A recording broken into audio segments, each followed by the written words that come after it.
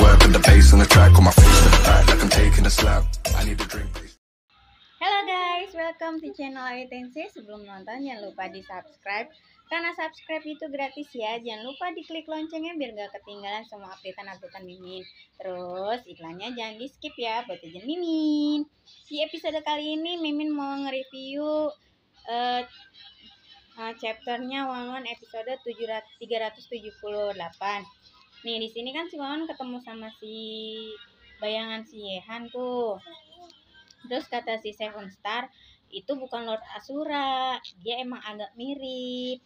Tapi perilaku sama sifatnya itu berbeda, dia bukan Lord Asura kata si Seven Star. Terus Wawan hmm, berpikir kalau misalnya yang ini si Yehan berarti yang di negara merdeka itu siapa? Ayo, ada yang tahu? Emang dia dia juga. Cuman kan si si Yehannya di sono dia em, apa namanya? nyewa orang buat pura-pura jadi Lord Asura. Terus Iwan dapat telepon tuh. Dapat telepon dari anak buahnya. Ternyata dia nangkep an- terus eh, dapat telepon dari anak buahnya si Wan Wan kalau dia nyulik anaknya ketua geng eh, gengnya Hong Sing. Nah, terus kan eh apa anaknya kayak ketua geng Hong Sing Liao siapa kalau namanya nggak salah lupa lupa lupa lupa lupa inget miminnya soalnya. Nah, dia bangun terus ngeliat si Wan Wan. Terus ya terpesona kayak ngeliat dewinya gitu. Terus kata dia dengar dengar suara di di antara semua penculik ada suara wanita. Terus kata, kata si dia tuh wanita ya nah terus hmm, suara ada suara wanita ternyata ada wanita cantik. Tuh ternyata itu si Wan Wan. Terus anak buahnya tuh pada nggak suka tuh si Wan Wan dibilang. Bukan pemimpinnya terus si Biduk bilang dia itu bos bos kami. Gak mungkin wanita cantik itu jadi orang jahat katanya gitu.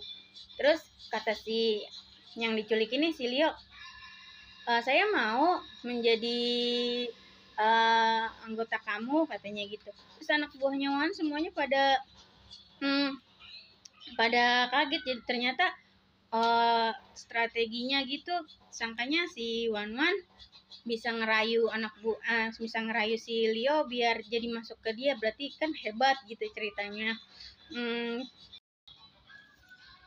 abaikan apa yang Mimin lakukan ya oke Ah, ups. Pemimpin, saya tidak bisa menjelaskan di telepon, jadi Anda harus datang dan lihat dulu. Aku mengerti, kirim alamatnya ke Biduk. Kami akan pergi ke sana sekarang. Wan Wan sama Biduk sama Seven Star pergi ke sebuah gudang yang tempat di mana penatua pertama sama penatua ketiga itu eh, berada. Kira-kira ada apa di sana ya guys? Apa yang terjadi? Kata Wan Wan. Penatua pertama, penatua ketiga lagi saling tatap. Di situ ada eh, orang pakai rambutnya warna biru. Ini ada yang ngaji. Siapa orang ini? Kata Biduk. Liao Jiangqi, putra bungsu Liao Haichang, yang paling disayang bos geng Hongxi. Hah? Dalam waktu sesingkat ini, putra bos geng Hongxi diculik. Luar biasa. Pemimpin tetua pertama bilang negara Cina memiliki peraturan, tapi dia sendiri lakukan penculikan. Hah, lawannya jadi bingung harus gimana. Saya menangkap putra geng Hoshi untuk bernegosiasi, jadi semuanya akan diselesaikan dengan mudah. Penatua pertama membela. Bagaimana kamu akan mendakap, mena- menghadapi situasi saat ini? Bahkan jika Leo Hajim berkompromi, berkompromi sekarang, apakah tidak terjadi di masa depan? Jadi bagaimana dengan serangan balik? Saya Feroz Alliance, apa takut dengan geng Hongsing? Yang enggak loh. Saya, feral alien secara alami tidak takut, tetapi pasti akan melanggar hukum Tiongkok dan itu akan menjadi rumit. Penatua pertama Anda sendiri mengatakan bahwa ini bukan negara merdeka. Tetua ketiga, kamu Oke, berhenti membuat keributan. Diam, biarkan aku berpikir. Wan Wan berbicara. Jika di negara merdeka semuanya mudah ditangani, tetapi mengapa agak rumit di Cina? Uh, bangun. Yang diculik bangun guys.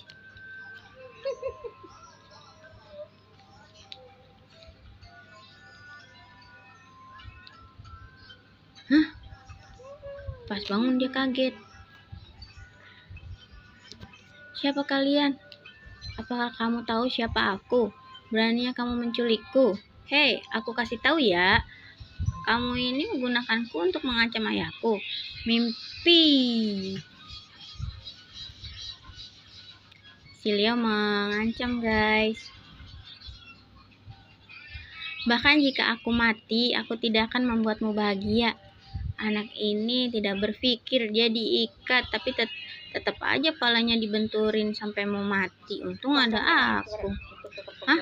Buat juga. Bagaimanapun dia adalah putra Liu Haicheng, jadi dibandingkan dengan orang biasa, dia jelas tidak mudah untuk dihadapi. Hmm? Benarkah? Dia benar-benar berdarah. Bagaimana mungkin, bagaimana mungkin ada seorang wanita di antara para penculik ini dengan suara yang begitu bagus? Gadis ini apa diculik juga? Kayak ketemu Dewi. Orang kalau pakai baju ini emang cakep sih. Coba kalau dia lagi mode jelek, saya jelek banget.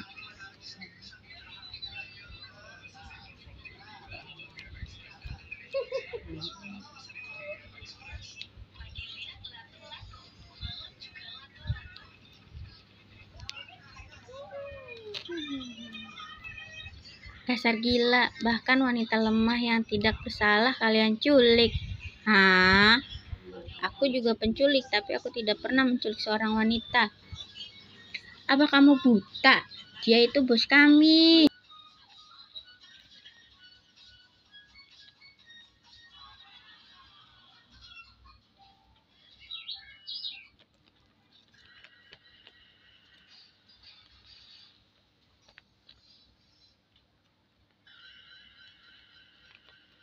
Kameranya ke itu ke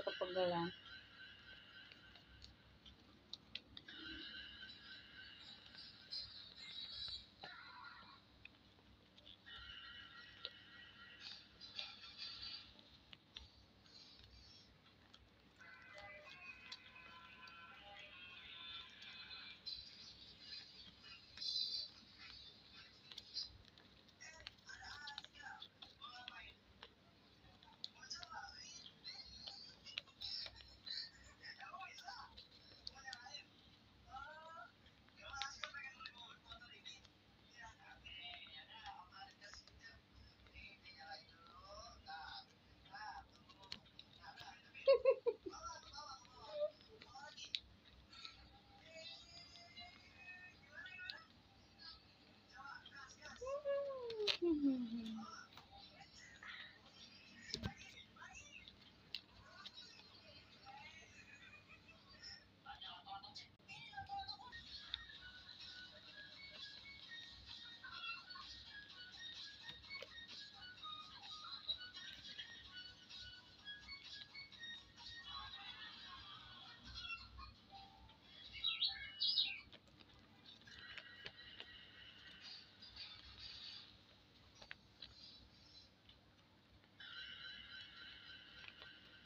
Kok kameranya ke itu ke